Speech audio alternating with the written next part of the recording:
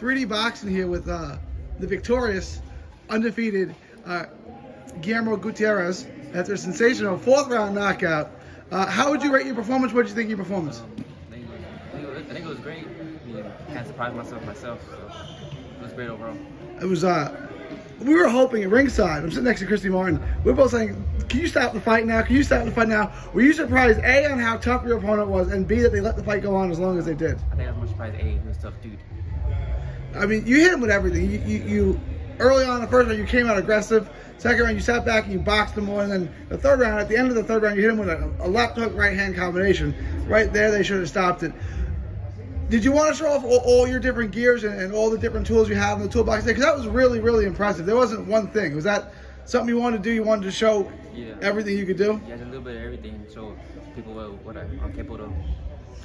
This, it came out tonight it was really impressive. Everyone's saying that's that's the best fighter of the night that we've seen so far. It was a really good performance. Two and zero. Um, obviously, you're still real young. How did you know it was the right time to turn pro? I mean, you turned pro back was a couple months ago. Yeah, June. June. How did you know? Okay, now's the time to turn pro.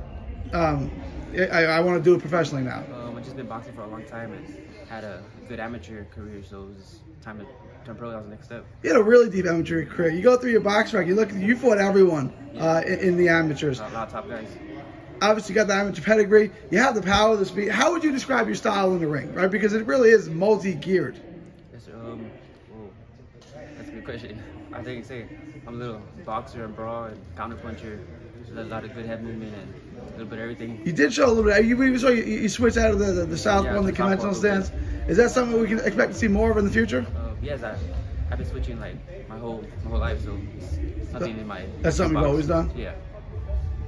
Uh, like I said, 2 0. When can we expect to see you again next? And, and when do you want to be fighting, you know, higher level op opposition?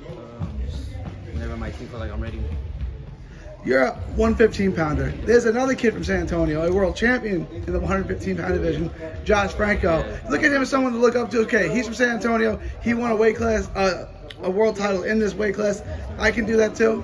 Sir. Yeah, anything possible. If he can do it, I can do it. Did you see his fight against Moloney last month? Yeah. What did you think of it? Josh, Josh is real good. Josh is good. And, uh, and Bam fights for a world title yeah. next month. Both, both good guys. Uh, tell everyone where they can find you on social media. You can find me on Instagram at GMO G-M-O-C-U-I-D-I. Guillermo Gutierrez, undefeated uh, super flyweight prospect. God bless, champ. Thank you. Appreciate it.